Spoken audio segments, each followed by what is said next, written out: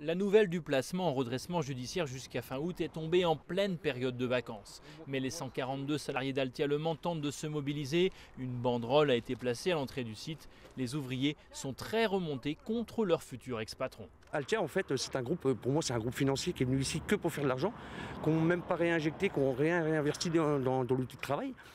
Donc, en fait, ils sont venus ici, se sont servis, et puis voilà. Quoi. Nous, maintenant, on se retrouve dans la merde.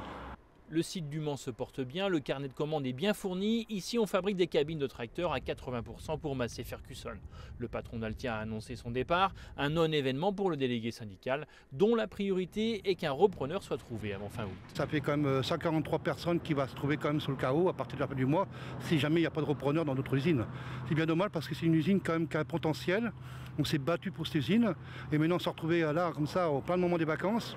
Au Mans, les salariés s'interrogent sur la gestion d'Altia, pourtant soutenue par l'État français via la BPI, la Banque publique d'investissement. C'était de l'argent qui, qui, prenait à droite, qui mettait à gauche, à gauche qui remettait à droite. Et c'était un, même le, celui qui était nommé par BPI France, euh, monsieur, monsieur le Résigné, il disait que c'était un bordel monstrueux. Pour moi, c'est des, des voleurs, c'est voilà, des voyous, c'est des patrons voyous. 46 des 48 usines Altia en France sont placées en redressement judiciaire. Près d'un millier de salariés sont concernés.